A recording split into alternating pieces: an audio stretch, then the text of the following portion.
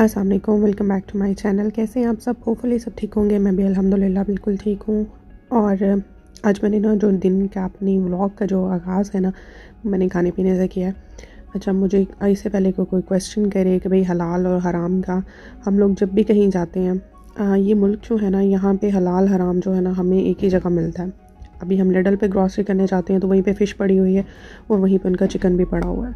तो हम लोग यही कर सकते हैं कि हम लोग, उन लोगों को बोल देते हैं कि, लोग, हमें हलाल वे में चाहिए। तो प्लीज़ आप जो है अपने ग्लव चेंज कर लें, आप अपनी नाइफ़ चेंज कर लें और क्लीन नाइफ़ ले लें ग्लव्स ले लें। तो ये वो हमारे लिए कर लेते हैं।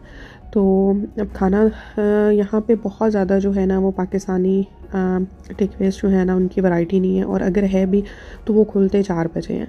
तो सुबह अगर सम टाइम किसी को कुछ लेना पड़ जाता है तो हमें इसी तरह के जो है वो पेट्रोल पम्प जो है उन्हीं पे ही जाना पड़ता है। तो एनी anyway, अभी हम लोगों ने रैप लिया था।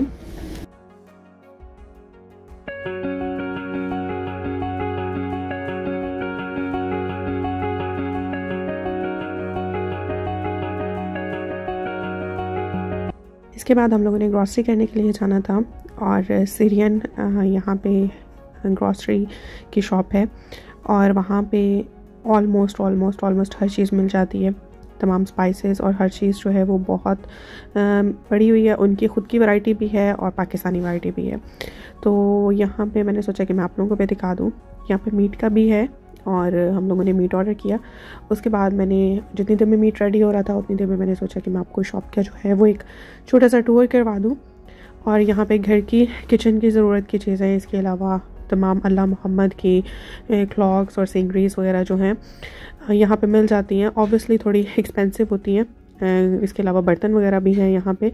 और सीरियन जो है वो टी पॉट्स और सीरियंस के जो बर्तन है ना जिस तरह के वो चाय के लिए और कहवे के लिए वो यूज़ करते हैं। चाय तो वो पीते कम ही है कहवा ही होता है उनका। तो उसके लिए जो वो पीते हैं आ, वो उस तरह के कप्स वगैरह भी यहाँ पे अवेलेबल हैं।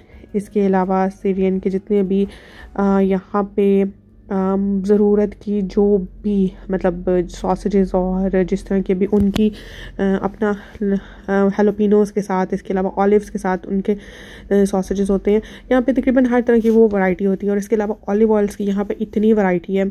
हर तरह का ऑलिव ऑयल है डिफरेंट डिफरेंट स्टाइल का ऑलिव ऑयल स्पाइसेस भी हैं यहाँ पे, इसके अलावा इनकी ऑलिव्स की जो है ना, वो बहुत ज़्यादा वैरायटी यहाँ पे अवेलेबल है। तो मैंने आप लोगों के साथ साथ एक छोटा सा टूर भी करवा रही थी और जो जो चीज़ें मुझे चाहिए थी, मैं वो भी बाय कर रही थी।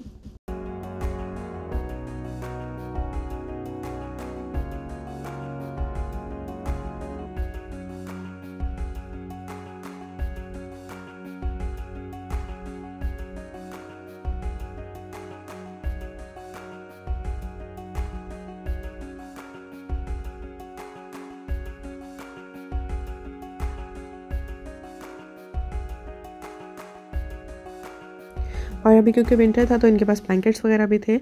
इसके अलावा इनके पास ह्यूज वैरायटी ऑफ़ जैम्स हैं। इनके अपने अपने तरह के जो जैम्स हैं और इनके अलावा, इसके अलावा जो है खजूर वगैरह डेट्स वगैरह भी काफ़ी वैरायटी में है। हनी की बहुत वैरायटी है यहाँ पे। और इनके अपने बिस्किट्स वगैरह जो हैं और जेलीज़ हलाल जेली जैसे है वो। और इसके अलावा थी की जो है वो एक डिफरेंट तरह की यहाँ पे वैरायटी मिल जाएगी आपको।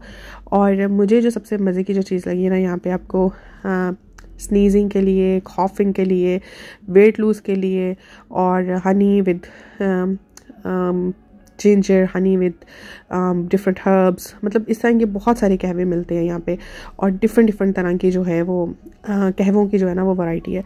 तो कुछ मैंने भी बाई किए थे। सिनेमन वाला मैंने एक बाई किया था और इसके अलावा मैंने एक वेट लूज वाला भी किया है और इसके अलावा जो था वो मैंने एक थ्रोट के लिए था। वो खौफ के लिए था लाइक कोल्ड एंड कॉफ के लिए तो वो भी मैंने बाई किया था। और कोल्ड एंड कफ वाला जो है वो तो आ, मुझे नहीं इतना इफ़ेक्टिव नहीं लगा लेकिन वेट लूज़ वाला जो था वो मैंने यूज़ किया था कुछ अर्सा। और लेकिन मेरा ये कि मैं बिल्कुल एक कांस्टेंट वे में नहीं जाती हूँ। अदरवाइज़ अगर मैं कांस्टेंटली यूज़ करूँ ना तो शायद मुझे उसका कोई रिज़ल्ट भी नज़र आए। और यहाँ पे हलाल जेलीस जो है बच्चों के लिए बड़ी अट्रैक्टिव चीज़ ये है कि यहाँ पे हलाल जेलीस की भी जो है वो काफ़ी वैरायटी है।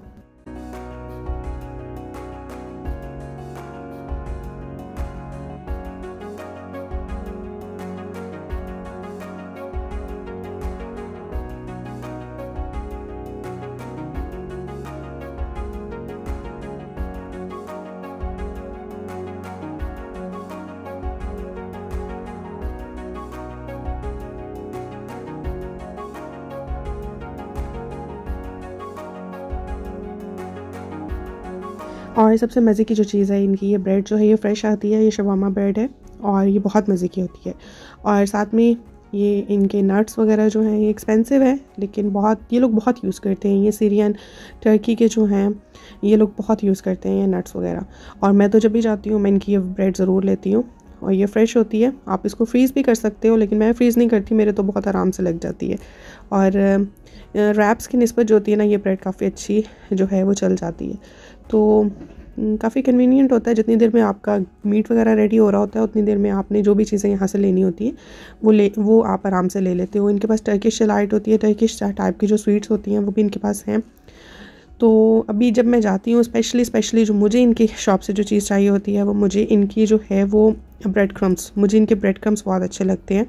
और वो फ्लेवर में भी होते हैं लाइक स्पाइसी भी मिल जाते हैं। और इसके अलावा प्लेन भी होते हैं तो मुझे वो वो बहुत एक अच्छी इनकी जो है ना, वो मज़े की चीज़ लगती है।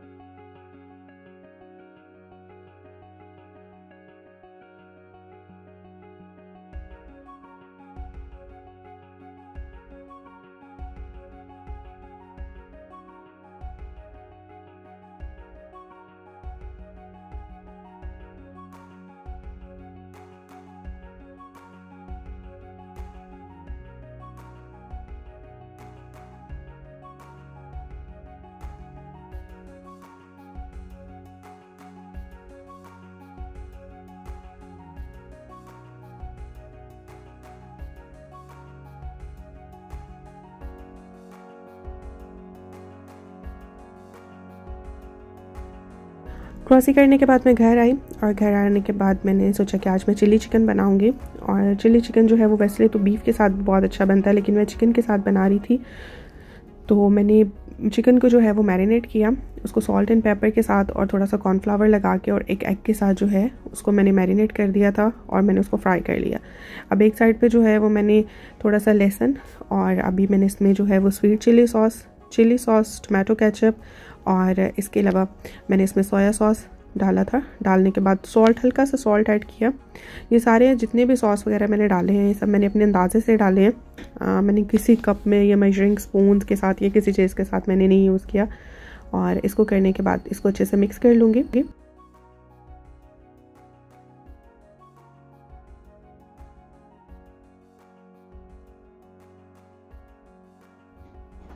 उसके बाद इसमें थोड़ा सा पानी ऐड कर दिया था। ताकि सॉस बहुत ज़्यादा थिक हो जाते हैं और फिर वो पैन के साथ लगना शुरू हो जाते हैं। तो उसके बाद उसमें चिकन ऐड किया और इसको जो है वो मैं अच्छे से मिक्स कर लूँगी। चिकन जो था वो मेरा फुली कुक नहीं था। सॉस में भी मैंने इसको पाँच सात मिनट पकाया है।